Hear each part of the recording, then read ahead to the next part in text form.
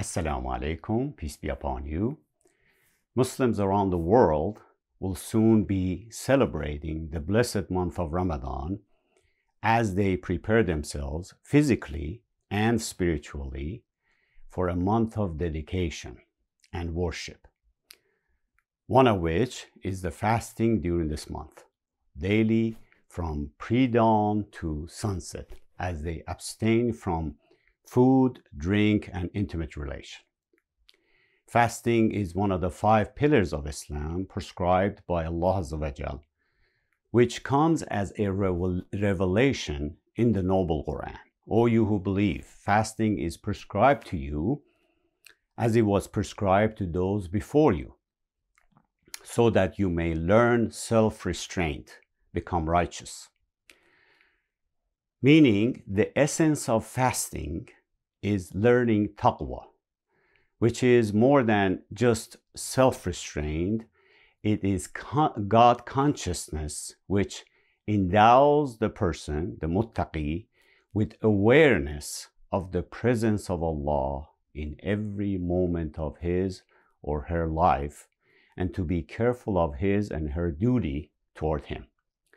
Ramadan is a month of worship and the month of Quran as Muslims celebrate the first revelation of the Quran in this month by spending extra time reading the Quran, performing special prayers, and doing good deeds.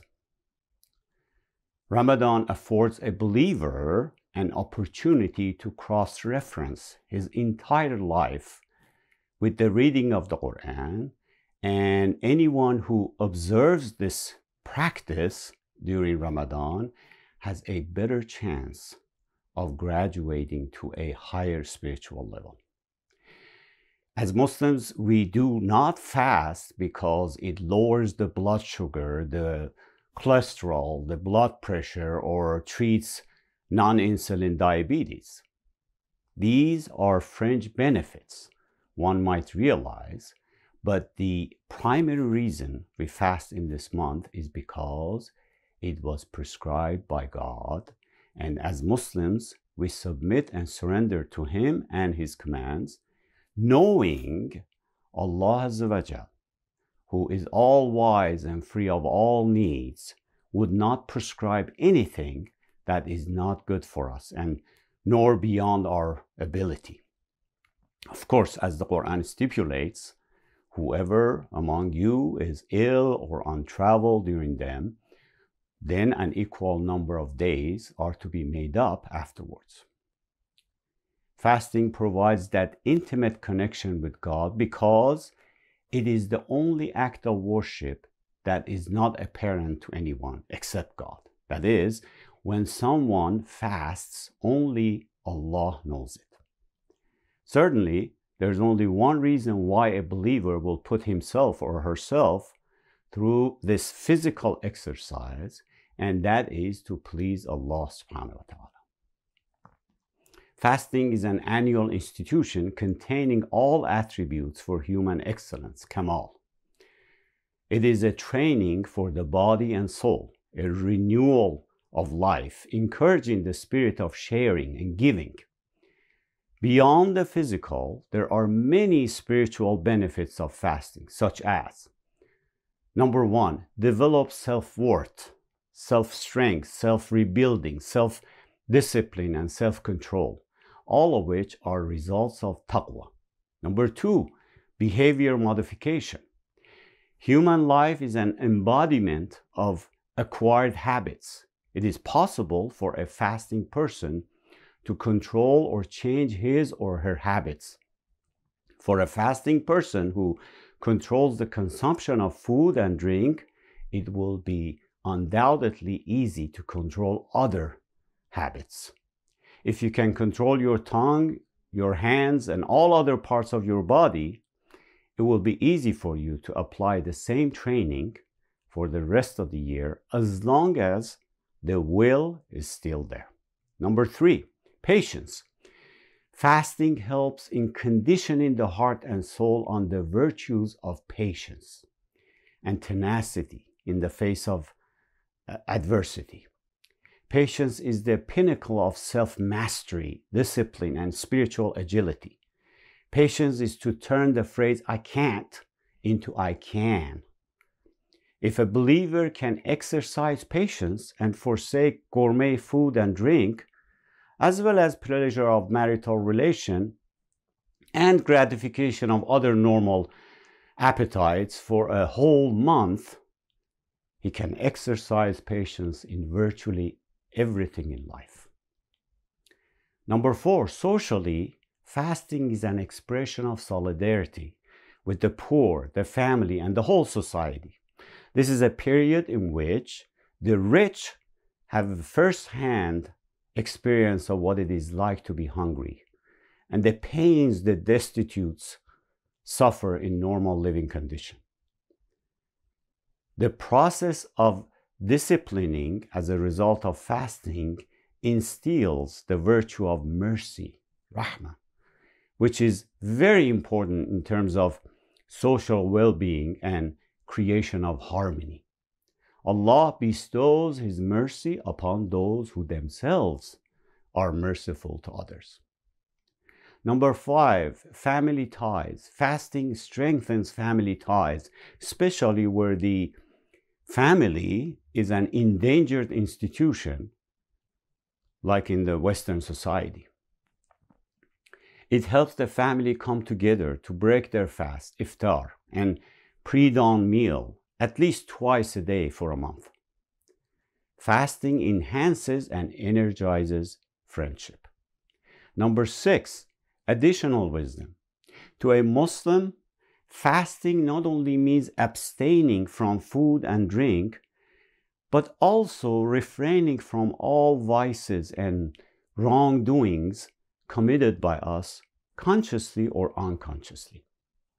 For it is believed that if one volunteers to refrain from lawful food, foods and sex, they will be in a better position to avoid unlawful things during the rest of the year. Number seven, impact of fasting in Ramadan on human nafs and soul. Firstly, fasting weakens your nafs. Nafs al-ammara is the component of an individual that compels him towards his desires. Abstinence in Ramadan weakens this nafs, hence its ability to invite the individual toward wrongdoing and sin.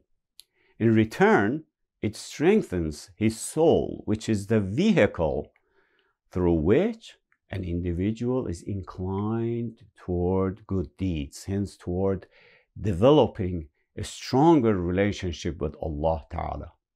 This is why you feel that heightened sense of closeness to Allah during Ramadan. In wanting to do good, your soul no longer must fight your nafs as it is empowered by the fasting. Hence, the increased willingness to do good deeds. It brings you closer to your thoughts and emotions.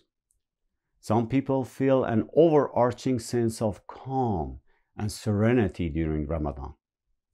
Quite often, even though the physical hunger is felt, we are calmed down by an overbearing sense of peace. These emotions are the direct impact of a close connection to Allah subhanahu wa ta'ala. This calmness also allows us to be better attuned to our own thoughts and emotions. It also relieves a person of worldly desires. Hence, it is quite often the case that individuals refrain from all things that invite them towards sin during their fast. The natural response is that if one is making an effort to please Allah subhanahu wa ta'ala, it is best not to impair that effort by engaging in activities that breed wrongdoing and sin. We try to refrain from anger and from expressing our basic instincts during Ramadan for this very reason. Back to the purpose of fasting, which is to gain taqwa, to learn self restraint and become God conscious. How to attain taqwa? by strengthening the connection with Allah and applying His moral instructions in our daily lives and in our dealings with others. These are simple commands, but are sometimes hard to practice. Being humans, we give in to different temptations that weaken our resolve to practice these commands or instructions. We all know the harmful effects of loose tongue, jealousy, envy, self promotion, self interest, and backbiting. How to avoid these? How to build and strengthen one's character? By sincere effort to reflect upon Allah's commands and practice them. What could be a better month than Ramadan for achieving this?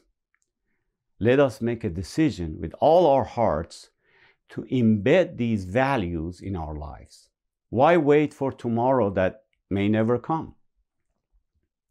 Here are a few examples of the important Quranic teachings and reminders we should focus on and practice in this month so we can continue the months that follow.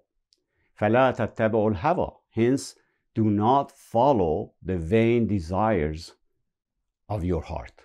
وَلَا تَجَسَّسُوا وَلَا يَقْتَبْ Do not spy on one another and neither allow yourself to speak ill of one another behind your backs. يا أيها الذين آمنوا أوفوا بالعقود O you who believe, fulfill your obligations, your promises. ولا تكتموا الشهادة and do not conceal evidence and testimony. وقولوا قولا سديدا and say a word directed to the right, to the truth. واجتنبوا قول الزور and avoid every word that is untrue. وإذا قلتم فعدلوا Whenever you speak, speak justly. وإذا سمعوا اللغو أعرضوا عنها When they, believers, hear vain and idle talk, they turn away from it. ولا تقربوا الفواحش ما ظهر منها وما بطن and do not commit any shameful deeds, whether in open or in secret. يا أيها الذين آمنوا لما تقولون ما لا تفعلون O you who believe, why do you say that which you do not do? ولا تلمزوا أنفسكم ولا تنابزوا بالألقاب Neither defame one another nor insult one another by nicknames or calling names. يا أيها الذين آمنوا اجتنبوا كثيرا من الظن O you who believe, avoid suspicion as much as possible. وَلَكُلٍّ دَرَجَاتٌ مِمَّا عَمِلُوا And for all there are ranks for what they have done. The month of Ramadan is a month in which the mercy and blessing of Allah Ta'ala descends upon us continuously. It is the month that the believers await with eagerness. During Ramadan, the believers seek Allah's forgiveness and protection from hellfire. This is the month for renewing our commitment and reestablishing our relationship with our Creator. The rewards for good deeds are multiplied during Ramadan.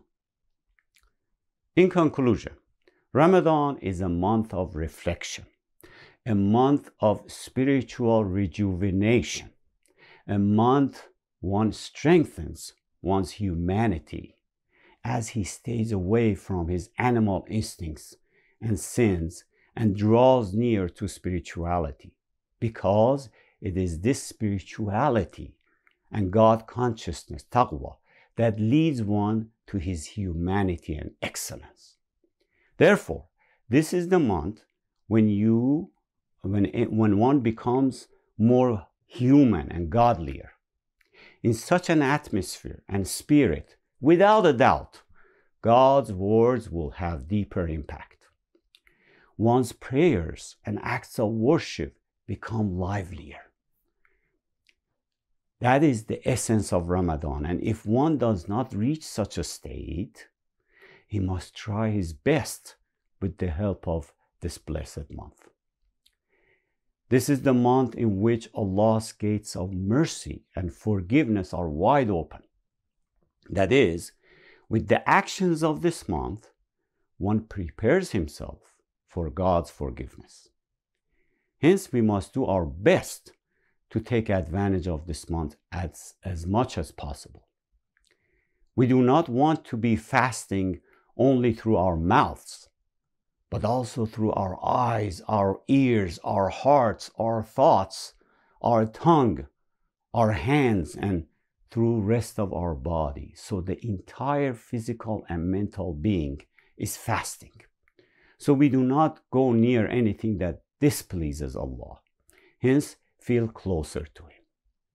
At the end of the day, the goal of all acts of worship, including fasting, is to gain that God consciousness and keeping one's duty toward God.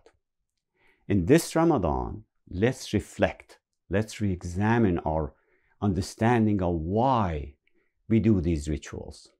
Ask your son, your daughter, your spouse, your family member, why is he or she fasting and praying? What is the reason? Perhaps you're going to hear different answers. And of course, at the end, you have to provide the real answer. Alhamdulillah, we do not have a problem in how to's. We all know how to pray or how to fast, rather, need to work on why we pray and fast. Sometimes Google does not provide the real answers. We need to make sure all of us and our family members know the reason, which is the most important part. May Allah accept all your fasting, prayers, and good deeds in this blessed month. Wassalamu alaikum wa rahmatullah.